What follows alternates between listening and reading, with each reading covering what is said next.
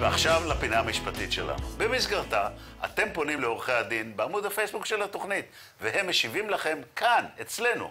עכשיו איתנו עורך דין רפאל אלמוג, שעוסק בדיני ביטוח ונזיקין מאלמוג שפירא, משרד עורכי דין. שלום לך. שלום איתן. האם אתה באת מוכן לשאלה שאני הולך להציג בפניך, שקיבלנו אותה? בוודאי. הנה השאלה. שלום. שמי רבית, בת 45 מרחובות. בעלי, לצערי הרב, הפך בעקבות תאונה לאדם הזקוק לעזרה. אני צריכה להפעיל לא פעם את התוכנית הביטוחית שלי. אני לא מאוד מאוד חוששת מול כל הביורוקרטיה והמסמכים הנדרשים, לא בדיוק יודעת מהיכן להתחיל. אשמח לקבל עצה טובה שאולי תעזור לי לעשות סדר, ותסייע לי להתחיל לעזור לבעלי. טוב, רבית, החשש לגמרי ברור ומובן, שהרי בכל זאת אנחנו מדברים על אה, גופים משומנים ומנוסים, רק על מנת לסבר את האוזן, בעוד שלרשות חברות הביטוח, עורכי דין, יועצים, חוקרים, מומחים רפואיים ועוד, ציבור המבוטחים ברוב המקרים אינו ער בכלל לזכויות שקיימות בפוליסה. ולכן, לפני שאת רצה להגיש את התביעה, מוטב שתחילה תבחני את הזכויות שקיימות בפוליסה.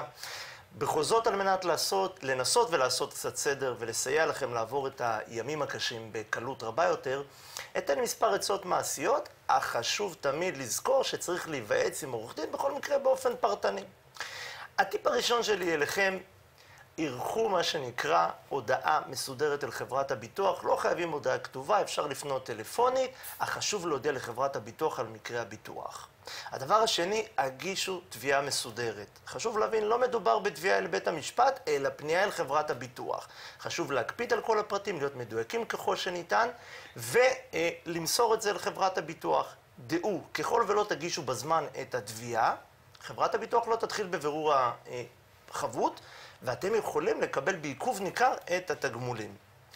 הדבר השלישי, ואחד לפני האחרון, הקפידו על מסירת פרטים מדויקים, על הפרטים מה שנקרא הקטנים.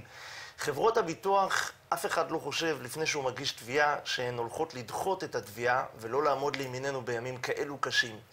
ולכן, הימנעו מפרטים שאינכם בקיאים, יודעים, ואם אתם לא יודעים, עדיף להגיד איננו יודעים, איננו זוכרים, למען לא תיתפסו במילותיכם. והדבר האחרון, הטיפ האחרון המעשי, היזהרו מחוקרי ביטוח. חברות הביטוח נוהגות לעשות שימוש בחוקרים פרטיים, ואלו מנסים להכשיל את בירור החבות, מנסים להכשיל את תביעת המבוטחים.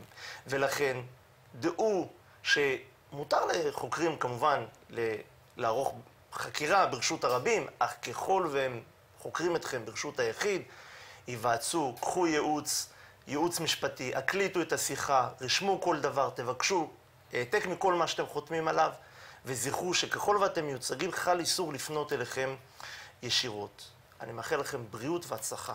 האם יש איזה לוח זמנים קשיח שבו הגשתי תביעה וחברת הביטוח מחויבת לתת לי תשובה בתוך אותו פרק זמן? בהחלט, איתן. חברת הביטוח מחויבת לברר את החבות ולמסור תשובה בתוך 30 ימים מהיום שבו היא קיבלה את כל המידע שדרוש לה לבירור החבות. עכשיו, כאן יש טריק, איתן.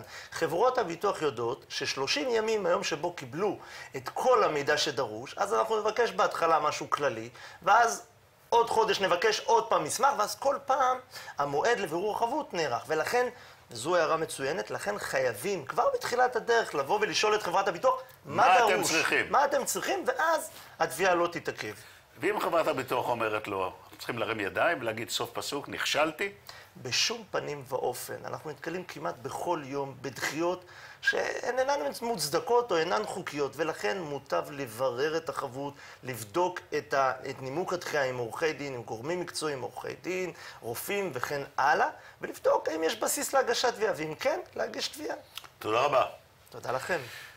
תודה לעורך דין רפאל אלמוג. אם יש לכם עוד שאלות לעורכי הדין שלנו, אל תהססו. פנו לעמוד הפייסבוק של התוכנית, ואנחנו מקווים...